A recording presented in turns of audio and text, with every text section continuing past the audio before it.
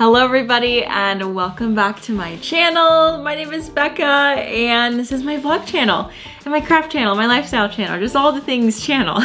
I am really excited because I announced a few days ago on Instagram that I am pregnant and it's been so surreal to share this news with the public. Of course, I've shared with close friends and family and I'm super out of breath, which is a wonderful thing that pregnancy has brought me. I am currently 23 weeks pregnant, so I'm over halfway through and I really thought that I was gonna wait a lot longer before I shared, but it just felt right to share it now and also it was getting really hard to hide because the belly has popped and we're still in cold weather and I could continue wearing really frumpy clothes to hide it. But I just, uh, I love seeing the belly, it's so cute. and I'm just really excited to have shared with you guys and just wanna say a big thank you for your support. I'm absolutely completely overwhelmed in a good way with how many people have just wonderful things to say. So thank you for the support and the love. I cannot wait to share more of this process with you on this channel. And today we're going to start off with a Q&A. So while I do this Q&A, I am going to be sewing an outfit for my little baby. And the outfit, it makes it really obvious what it is. I'm having a little girl. I've already shared that on Instagram, so you probably already knew, but if not surprised, I'm, I'm pregnant and I'm having a girl. I'm super excited to be having a girl, although I would have been happy either way. When I saw a girl on the screen, I was like, I can make her dresses and we can match. as far as the pattern goes, I'm going to be making the marigold dress and I've actually already made this. I made it a few days ago because I wanted to be extra prepared for this video. Look at how cute and tiny this dress is. As I was cutting out the pieces, I, I cut off this like top part and I started crying. I'm a very emotional person as it is and then you add pregnancy hormones and it's so much worse. this is a zero to three month size. I kind of mapped out how old or how old she's gonna be during each season coming up for all the different clothing sizes so that I know that when I'm buying something, um, I'll buy for the correct season or, or at least close to this to the right season. It lined up to have zero to three months be summer season and also nine to 12 months be summer season. And also part of 12 to 18 months will be summer too, like half of that. So anyway, as far as sewing goes though, I just wanted to play it extra safe because I'd like for her to actually be able to wear these things. So this is the marigold dress. I bought the pattern on Etsy and I have to say that the instructions leave much to be desired, but if you've constructed a garment before, you're gonna be totally fine. It's just a smaller version. Will it be easier because it's smaller? No. I did have some issues, but now that I've worked through those issues and figured it out, I think I'll be fine the second time around. It has a little detail on the back where you can have buttonholes to close this up. So depending on size, like I think that just helps it to last a little bit longer. So I have two sizes, two buttonholes here, and I did just a pink little button that I had in my stash. I already prepped these ruffle sleeves. I'm doing a ruffle version. You could do a non-ruffle version, but I'd like the ruffle version to start. And this fabric is really, really cute, um, like harvest fabric. I just thought it was really sweet and I've been holding on to it for a long time and I didn't know what to do with it and it just felt really, it just felt right for a little girl dress. So I'm gonna sew these up really quick. I just hem the end of the ruffle and then we're gonna answer a question. So the first question is, how did you feel when you found out? I honestly cannot describe how oh, it was just such a crazy feeling to see a positive on a pregnancy test. It wasn't the first time that I've taken a pregnancy test, but it was the first time I've ever seen a positive. And it was so crazy because I wanted to get the most accurate reading. So I took it really, really early in the morning with my first pee and the it was very concentrated let's just say that. So the positive sign came up immediately. Every video i've ever seen of someone taking a pregnancy test consisted of them like waiting around for two minutes or setting a timer and coming back. And i didn't even have two minutes to process so it was just immediately like yes you are pregnant. I had a pretty strong feeling that i was pregnant though because up to that point I have been tracking my cycle for years and years and years and I knew exactly when I was ovulating. I had felt some changes in my body in the days leading up to taking the test. Like I just felt different. I don't know how to fully explain it without like going into gory details. It kind of felt like a confirmation of this like intuition or this feeling that I had and it was really nice to know like my body was correct in telling me this or my intuition was right in thinking this. The next step was to gather up that piece that I just hemmed. So I gathered it. Okay, the next question is how did you tell Daniel?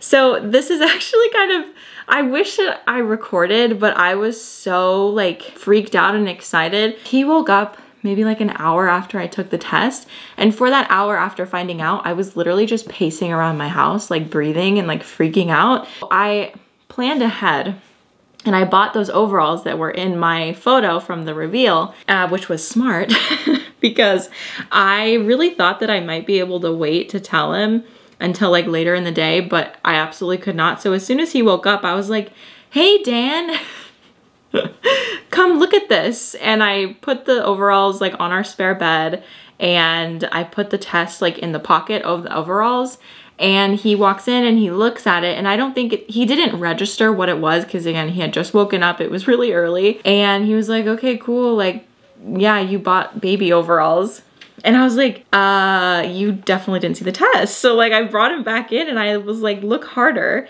And then he just kind of like, I saw his body kind of um, like, you know, shock. And he was like, really? Like, are you sure? And I was like, yeah, I'm pretty sure. And that's how I told him. I wish that I did get a video, but in general, we're a little bit more private, like on our personal life. So like, I don't know if I would have posted it anyway, but it was like a sweet reaction. Like we were like, wow, okay, so I guess we're doing this. These straps are so cute.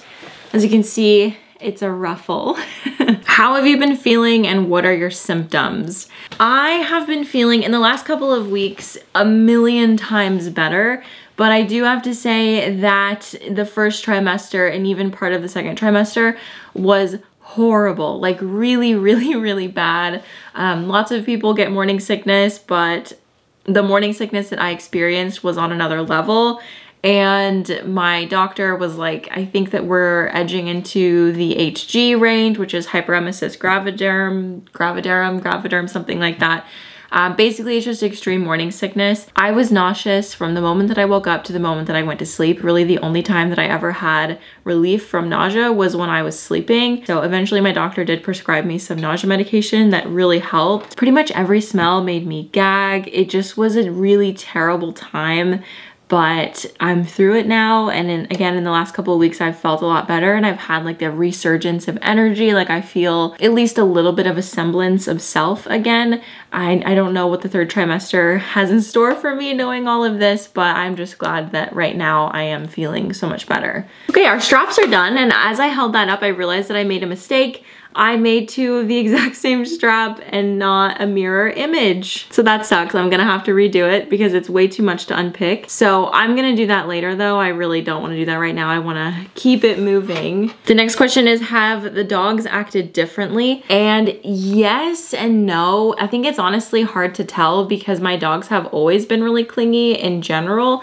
Like they are always on top of you. Through the pregnancy, they might have sensed that I wasn't feeling very well because in the past when I've been sick, they have been a little bit more cuddly and like willing to take naps with me and stuff. Um, but we're doing some training with them, new tricks and obedience things with them, like definitely not jumping up. And if there's like a blanket on the ground, teaching them not to go and lay on it or be near it because babies are oftentimes on the ground with a blanket. And while I don't have like big dogs, it's still something that we're like thinking about and aware of that they could step on the baby and it could hurt the baby. So I don't know, kind of maybe just being a little bit overcautious with that, but we're working on some stuff. This is the bodice piece and it's so cute and tiny, but I have it right sides together and I actually positioned it so that um, the picnic basket would be in the very center of the bodice. Now, normally when you're making a lined bodice, you would insert the straps into this, but I'm not doing that until the end of the process because when I made my initial dress, I was having so many issues with which direction to sew on the skirt with the gathers.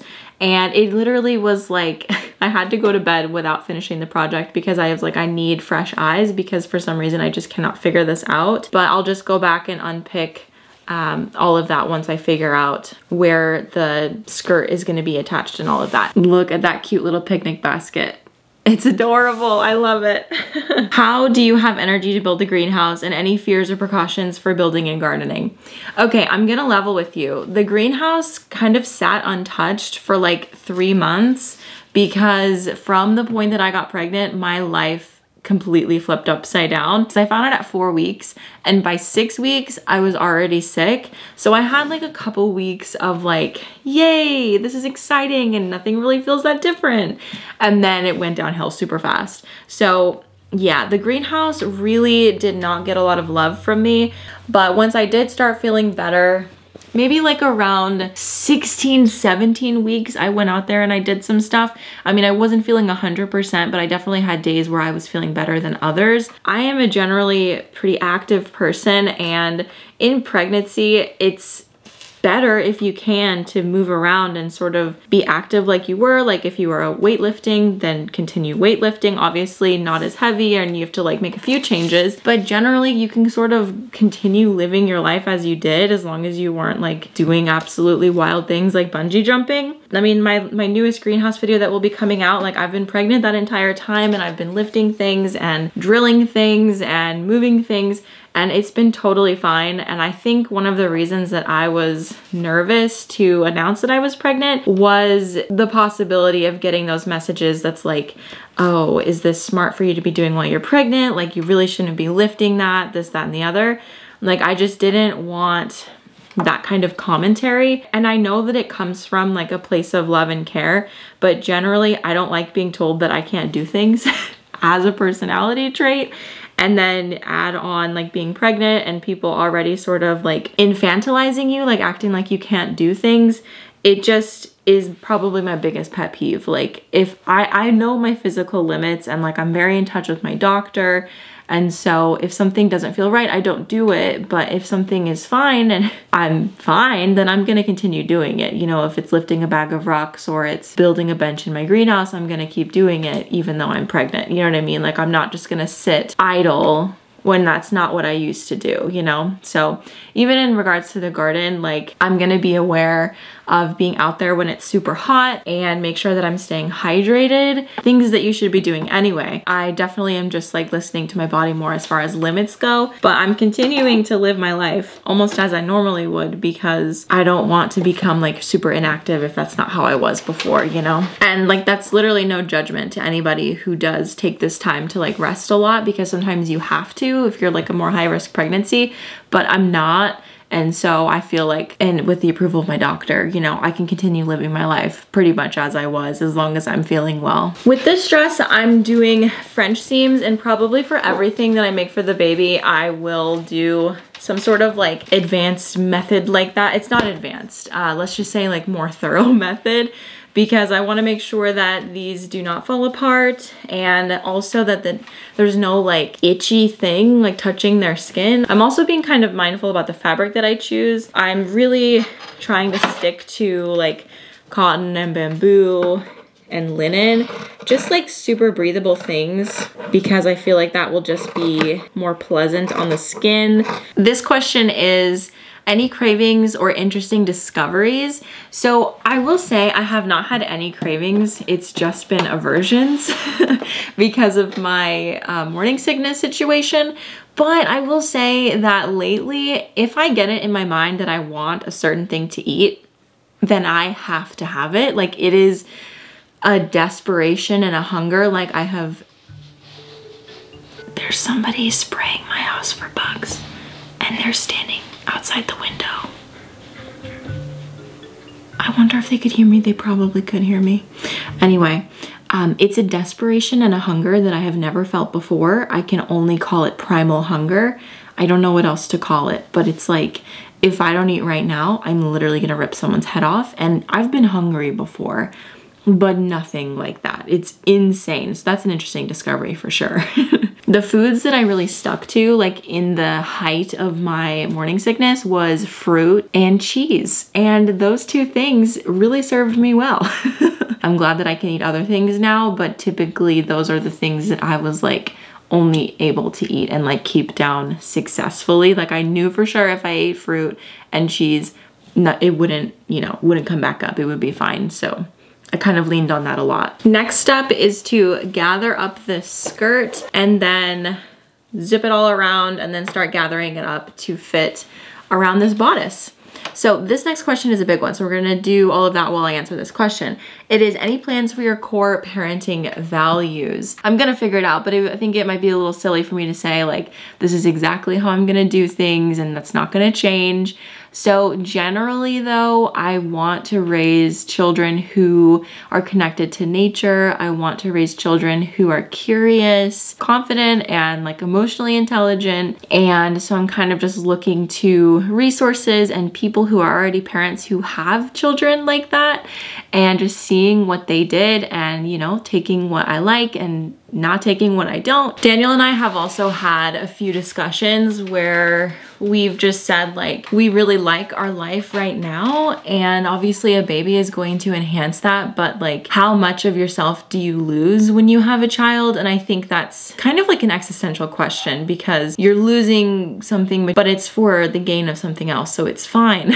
There's people who should not have had kids right? Who will have a lot to say about raising children and how much it ruined their lives. And I'm just really trying to drown out those voices with positive parenting situations because we really wanted to have a kid. Like this isn't something that we just did randomly. Um, we really thought this through and there was a point in my life where I thought that I if I didn't have kids, I would be okay. And I still believe that. If I didn't have a child, my life would be very fulfilled because I have, you know, other things. I have hobbies, I have interests and I have a really great partner. And so a kid isn't really coming in to like fill any gaps. It's really just coming in to enhance. And that's kind of the perspective that I've had um, because it's not a small thing to have a child. And I really don't think that as a society, it's something that's expected as much anymore. We're able now to make a much more informed decision on whether or not we actually want to have children. For us, we're thinking about this as in we're bringing this child into our lives. And not that our life isn't going to change, but like we still are people who like to travel. We're still people who like to go on adventures. And I like to sew and I like my plants. And while those things might have to change a little bit because we have a child now, um, those core things that we love to do are still gonna happen. She's ultimately going to integrate into our lives and how we live. The moment of truth to see if I've done this correctly. Oh, I have. Yes. I swear if I had to do that again, I would have been so upset. How much of the baby will you be showing on the channel and will you be doing any parenting content? I don't know how much I'm going to show the baby on the channel and I just say that because things could change. But my first thought is that I really don't want her to be a, a main character here. So if we're talking main characters and side characters, she's not even going to be a side character, right? I'm the main character. Daniel is a side character, my dogs are a side character, and she could be like a guest star or like a supporting actress, you know? Mostly just to protect her privacy. I think that we're seeing a lot of the negative side of showing a lot of your kids online before they can consent to it and really truly understand what's going on. I don't think ill of parents who do show their children. I just think that there's some considerations that should be made. It's a tough one because on one hand, I like she's gonna be like the light of my life and I wanna show her off to everybody, but I also have a responsibility as her parent to protect her. And um, you know, there's a lot that we don't know about internet safety and kids being shown online. Like, I don't know, it's, it's just such unknown territory. And I just really want to protect her from bad people on the internet who are not safe. And so although you guys might be safe, I don't know who watches my videos, you know, I don't know everybody who watches my videos. There could be somebody who is quietly watching and is like kind of really scary. You probably won't see her face very often if ever. I don't know exactly how I want to handle that. I'm cutting out the new pieces that I messed up, but I quickly wanted to talk about the mommy content thing because yeah, I will probably make some like motherhood related videos, maybe some baby product videos. I don't know, if I find things that I like, I'll probably mention it. I mean, it's not gonna be a secret that I am a mother.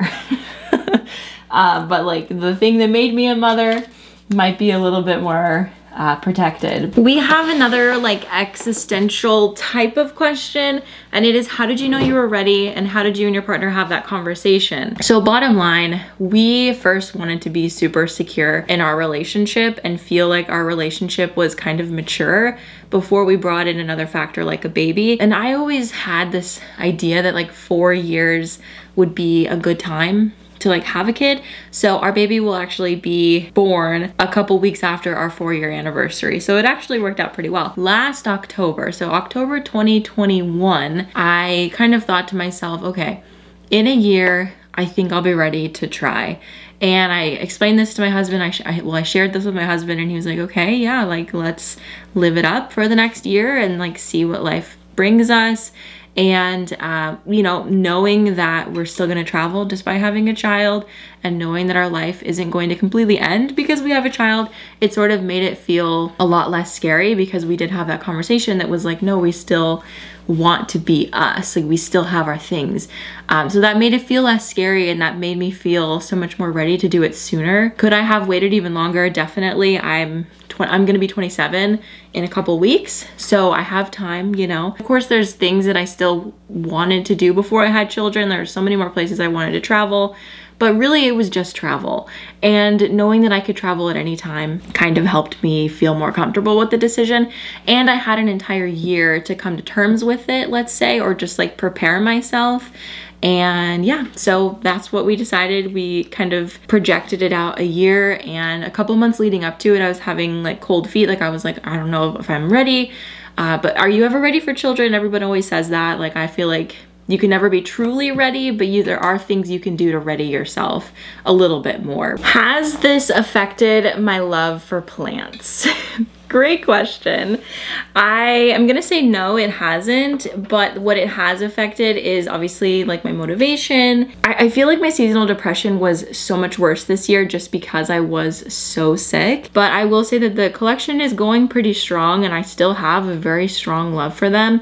Like my baby is gonna come out spitting houseplant facts because I do very much so still love them a lot. Um, but yeah, it definitely uh, did take a back seat in regards to like caring for them this winter uh, just because I didn't have the motivation to do anything. It wasn't just my plants, it was really everything. Are you going to make maternity clothes? Yes, I do plan on making some form of maternity clothes. I mean, to be honest with you, a lot of the clothes that I have made are going to be fine with pregnancy. A lot of my dresses are not form fitting. They're very loose. I mean, very similar construction to this baby dress. Like I have a lot of like baby doll inspired and like emperor, emperor, emperor waist empire waist.